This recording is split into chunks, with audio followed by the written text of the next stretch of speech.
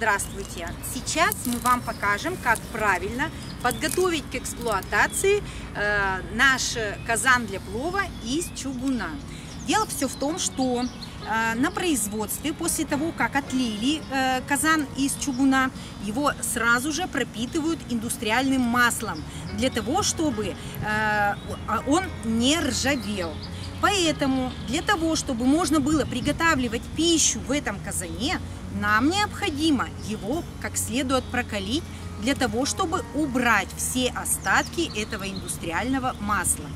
Для этого, вот он, видите, такого черного цвета, глянцевого, мы его ставим на огонь, на высокую температуру, чтобы у нас э, все это масло прокалилось. Используем мы для этого э, учак нашего же производства в процессе прокаливания будет идти э, неприятный запах, то есть вот это масло будет выгорать, поверхность постепенно должна э, осветляться, как будет вот оно все выгорать, будет появляться такой довольно-таки серый цвет. Процесс этот не быстрый, он займет, возможно, у некоторых более часа или около часа. Это зависит от литража казана для плова. Поменьше казаны, их быстрее можно будет, а побольше уже, соответственно, требуют большего времени. Конечно, самое удобное прокаливать казан на свежем воздухе. Для того, чтобы равномерно все выжглось, необходимо этот немножко поворачивать.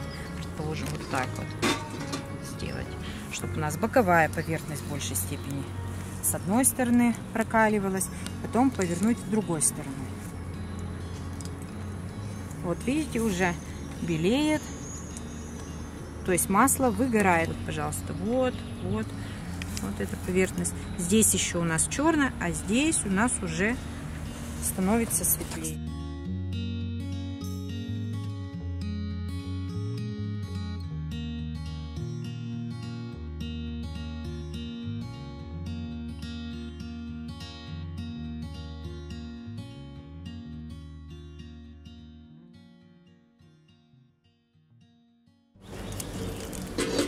Сейчас вот так вот поставим.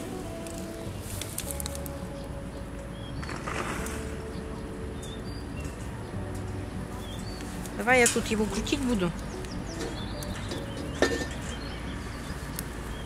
Итак, на нашем казане все индустриальное масло выгорело. Он стал э, темно-серого цвета. Теперь мы его поставим э, для того, чтобы он остыл ну, просто на землю. Ни в коем случае. Для того, чтобы он остыл, не наливайте воду, иначе э, казан просто лопнет. Чугун очень хрупкий металл, Поэтому вливать воду в чугунную разогретую посуду нельзя ни в коем случае. Казан должен остыть естественным путем. Э, дело все в том, что вы можете не просто на природе, вот, например, э, прокалить э, свою чугунную посуду, но также можно это сделать и в домашних условиях. Можно перевернуть дном кверху, вот, например, пловницу и поставить ее на 200 градусов в духовой шкаф. Конечно, будет очень много дыма, гари и копоти, поэтому мы рекомендуем данную операцию проводить на свежем воздухе. После того, как остынет наш казан для плова, это произойдет примерно через полчаса 40 минут, мы э, наливаем туда воды и э, хорошенько э, моем тряпочкой и протираем. После этой процедуры мы его поставим обратно на учак и добавим в него соль. Это будет следующий этап подготовки нашей пловницы для эксплуатации. Сейчас мы засыпаем соль. Соль в данном случае играет роль адсорбента, который э, возьмет всю грязь из пор чугуна, все впитает в себя, а также частично еще и отполирует немножечко поверхность. Потом э, период придет времени, оно будет довольно-таки серое, ну пусть прокаливается пока соль. В течение нескольких минут э, мы будем перемешивать эту соль, чтобы она сначала она должна нагреться хорошо. И, э, значит, вот таким вот образом мы по стеночкам ее перемешиваем. Она после э, использования будет такого серого цвета, как она вот будет серая, значит она э, все остатки индустриального масла э, приняла уже на себя, и мы ее сможем э, убрать, выбросить. Она, конечно, уже для использования будет непригодна.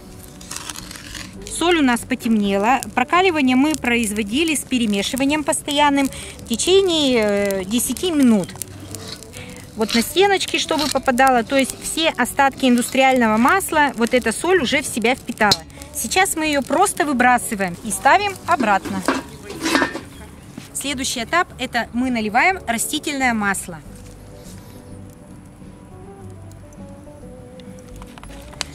Так, растительное масло мы налили и начинаем смазывать, чтобы все стенки маслом были у нас смазаны. И продолжаем процесс прокаливания нашей пловницы. Вот таким вот образом. Вот, все боковые поверхности мы э, растительным маслом, желательно, конечно, без запаха, рафинированное масло брать. Мы все смазали и будем держать до того момента, как немножко масло начнет уже э, закипать. Когда масло уже начинает немножко гореть, мы его выливаем.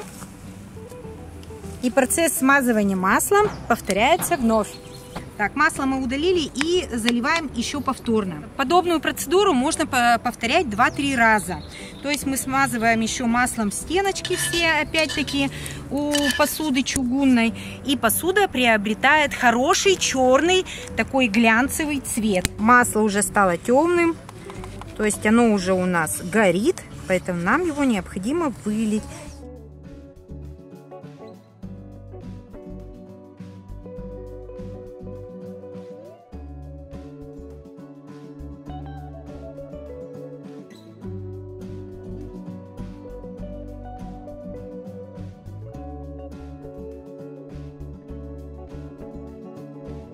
Если все-таки после эксплуатации ваша посуда начала ржаветь, ее можно почистить металлической щеткой или шкуркой, промыть как следует, высушить и точно так же прокалить несколько раз с маслом, чтобы на поверхности посуды образовалась э, такая пленочка из масла и чтобы посуда уже у вас не ржавела.